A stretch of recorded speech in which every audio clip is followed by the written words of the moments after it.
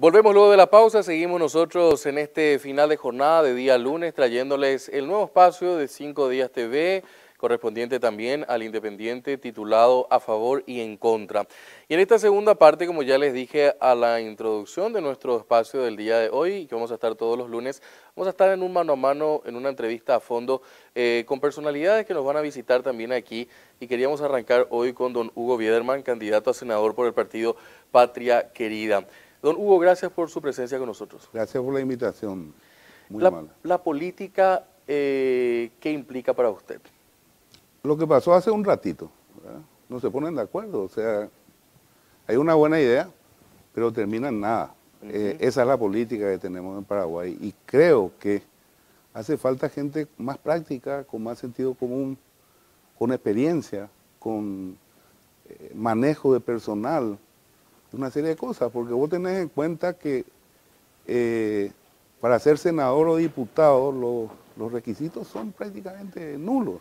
Entonces, las maquinarias políticas hacen de que entren ciertos personajes que realmente nos tienen así hace demasiado tiempo. Me imagino que su familia y amigos más cercanos, cuando usted planteó la idea de dedicarse a la política en estos tiempos, le habrá dicho, ¿para qué hubo?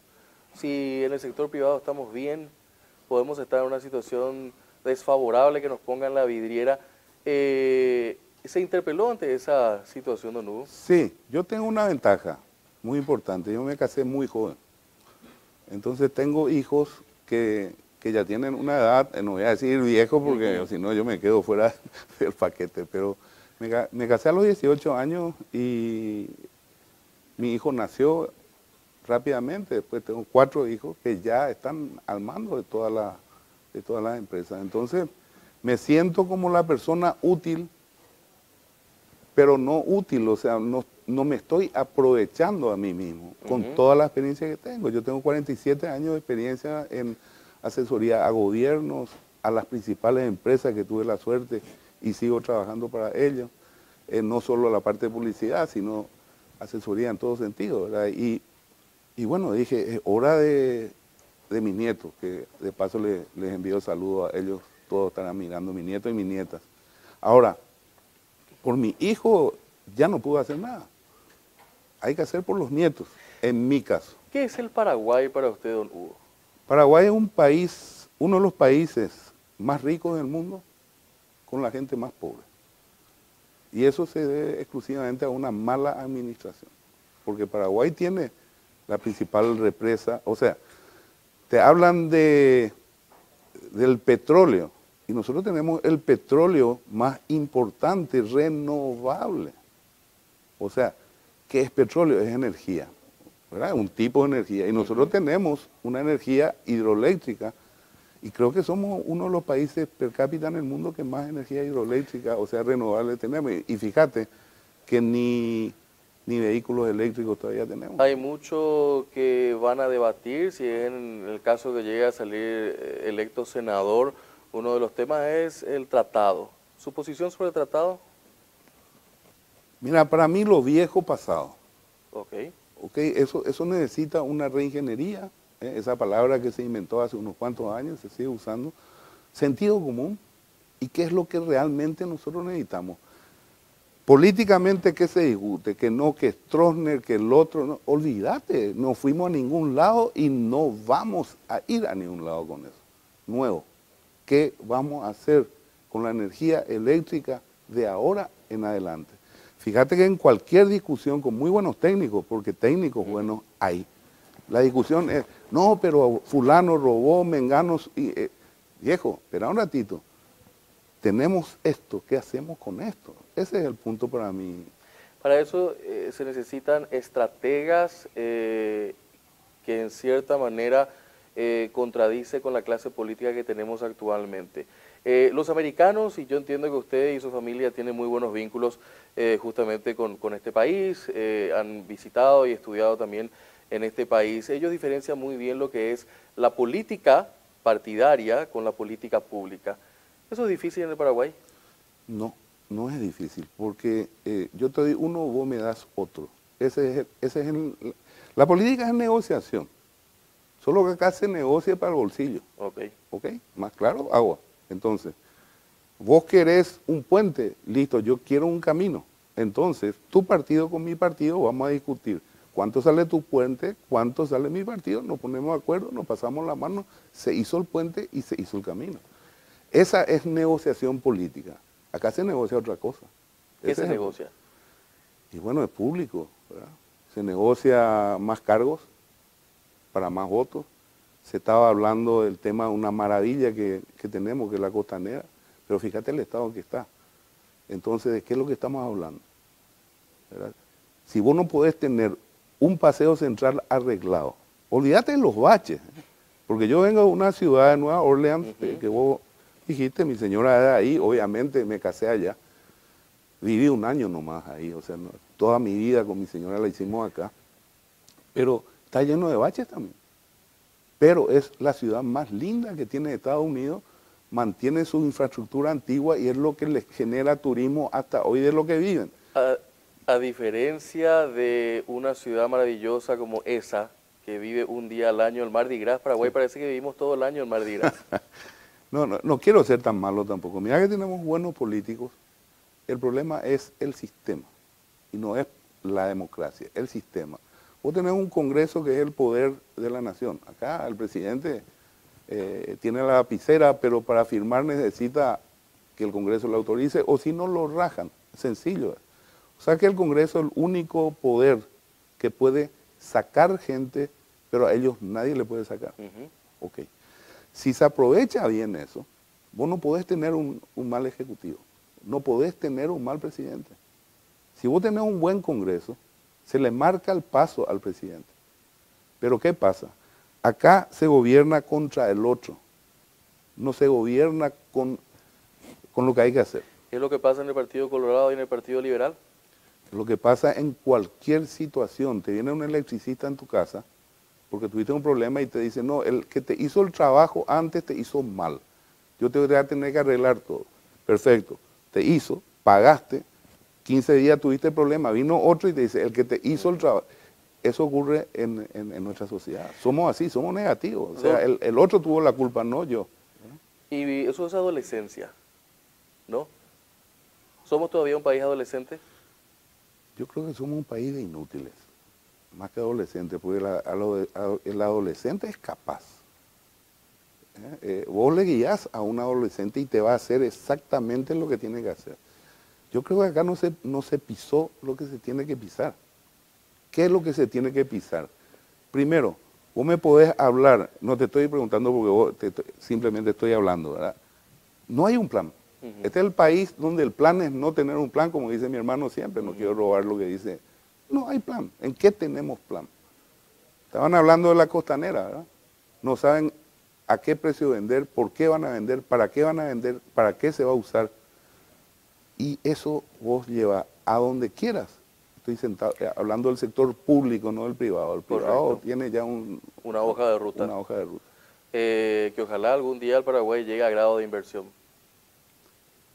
Mira, si Paraguay logra que se traiga el dinero de los paraguayos que está afuera, vos no necesitas dinero extranjero. Hay mucho dinero paraguayo afuera. Mío no, no tengo un mango, pero, pero de, mucha gente. Don Hugo Biederman, ¿por qué Patria Querida?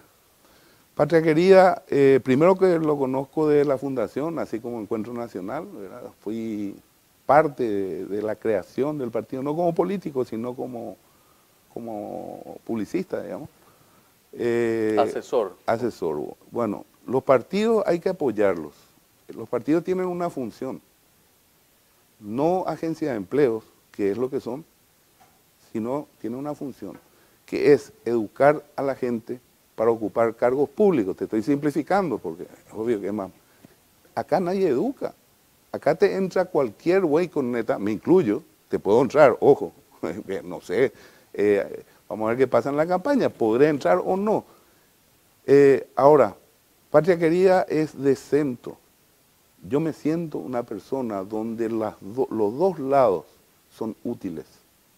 Primero soy zurdo de, mano, jamás de mente, pero de mano sí.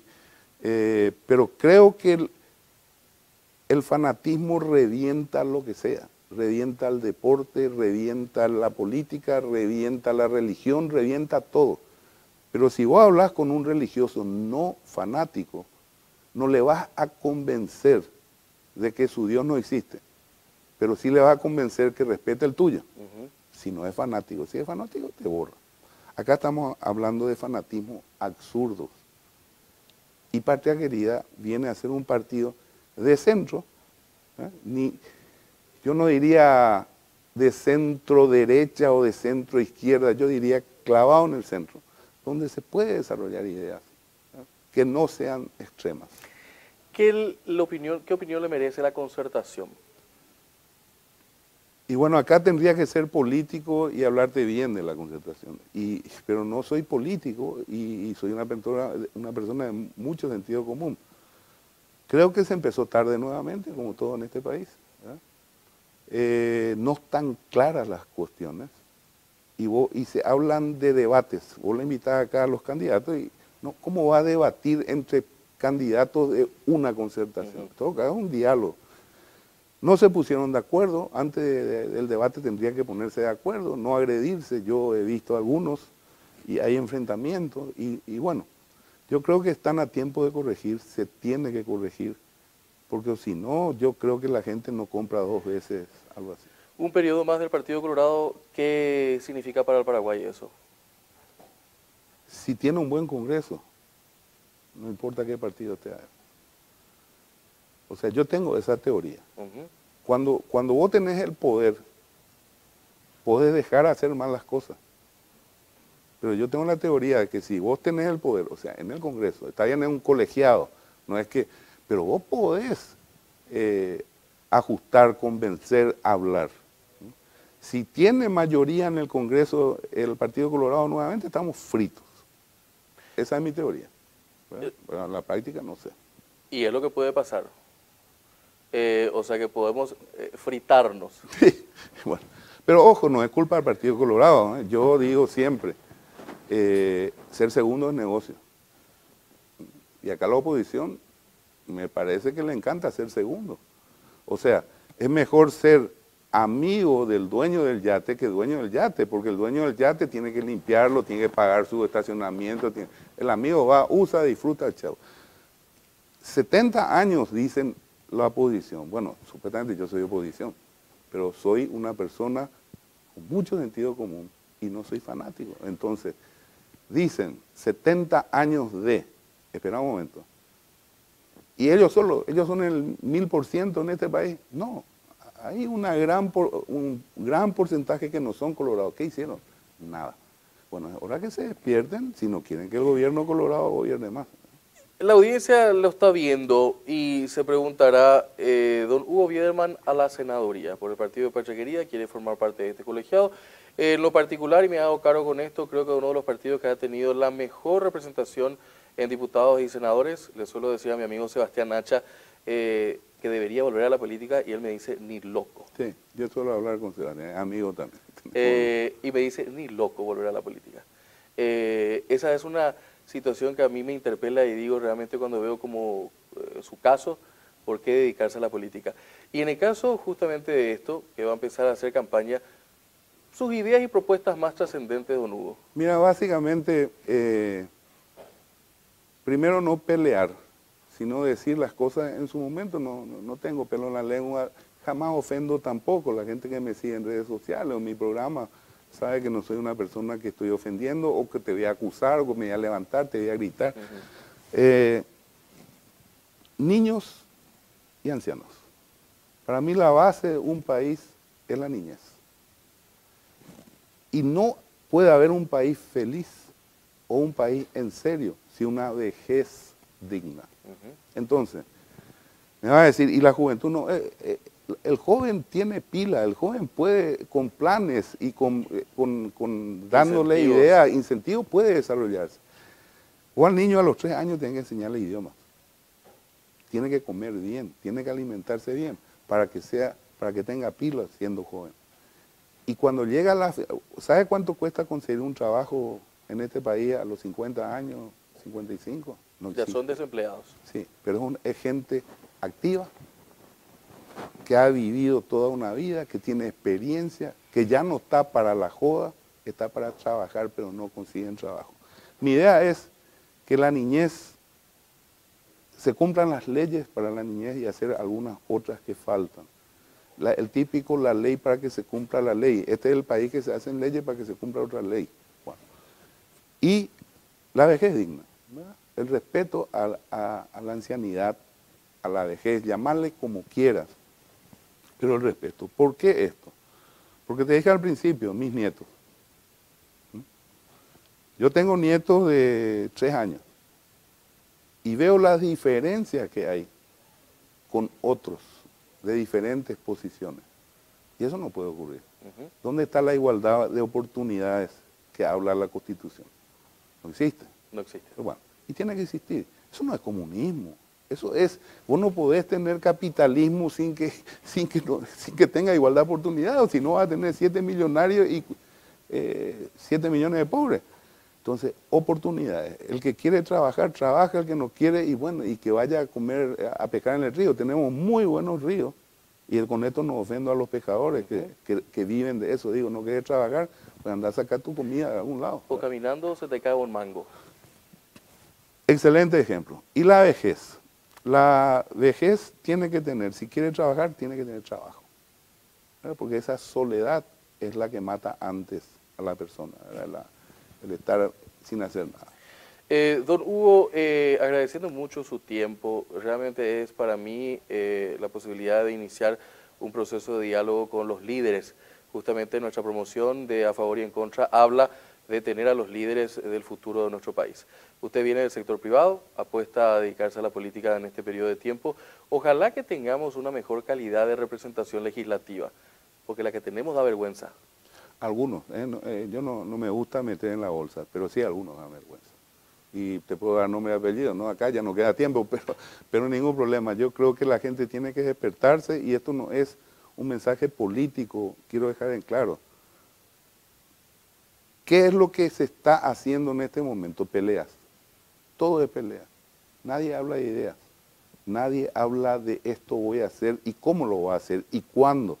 O sea, te prometen todo, pero no te dicen cómo, cuándo y dónde. Usted viene de una familia dedicada a la comunicación. Totalmente. ¿La gente consume eso? ¿Quiere eso que se le está vendiendo todos los días o quiere algo diferente? Bueno, la gente me dijo, mucha gente es la que estoy hablando, y ojo, y ojo, digo, no, y hoy es mi lanzamiento. Este es el primer programa que yo asisto. Y acepté la invitación justamente porque quería esta entrevista con, contigo y con, con este medio. Ahora, que no se enojen los otros, pero Hoy arranco yo, eh, realmente. Yo no hice hasta ahora absolutamente ningún movimiento. Lo que estoy viendo es pelea. Pelea, insulto, vos sos más ladrón que yo, el otro es más ladrón. ¿Y nosotros cuándo? O sea, la, población cuándo? Vos fíjate, mi hija fue el fin de semana al botánico, la casa de Carlos Antonio López está destruida. Y entonces, ¿qué es lo que me habla el intendente a mí? O quien cuerno sea. Tenemos un Ministerio de Justicia y lo que menos hay es justicia. Tenemos un Ministerio de Industria y Comercio que hace muy buen trabajo en muchas cosas, pero en el contrabando nada. ¿eh? Y vamos ministerio por ministerio. Decime uno que sirva. Cada 66 asuncenos hay un empleado municipal. Si vos me tenés 8 mil personas en la calle arreglando baches, limpiando las plazas, y el paraguayo va a pagar y no va a protestar. Pero y, y ese pequeño ejemplo se traslada a nivel país. No, claro por supuesto. Lastimosamente acá se proyecta todo, pero para no, no, lo bueno, sino lo malo. Don Hugo, por último, eh, y gracias de vuelta por eh, este espacio para comunicar lo que nos acaba de comunicar, ¿no? El lanzamiento de esto eh, nos honra. ¿Qué es el paraguayo y la paraguaya? Le hice la pregunta de qué es el Paraguay, pero el ver a nuestros compatriotas, ¿qué definición le da? Paraguayo es un genio es un genio. O sea, es una persona calma, trabajadora, pero quiere hacer lo que le gusta. Si el paraguayo hace lo que le gusta, es un genio. Y eso te, da la pauta que en otros países ¿eh? el paraguayo es un genio, es respetado, es admirado. ¿Por qué no sabe votar? la paraguaya, y la paraguaya es una, una mujer, no, eso que te van a decir luchadora y no. La mujer está, eh, está a la par que el paraguayo e inclusive es superior. Yo creo que la mujer paraguaya es superior al paraguayo. ¿Por qué no sabe votar? Porque no tiene una oposición que le enseñó. Porque ¿quién te va a enseñar? Hace treinta y tantos años se fue Stroessner. Y todavía la oposición llora de la dictadura. Entonces, ¿de qué estamos hablando? Entonces, el día uno tenía que haberse... Fíjate vos, a los 10 años de, que se fue Stroessner, todavía la gente no sabía que pagaba impuestos. Luego, cuando aparecen las redes sociales, ahora la gente dice, yo te pago tu sueldo a vos. Cosa que no es tan exacta tampoco, pero, pero ahora la gente empieza a descubrir que es dueño de esto.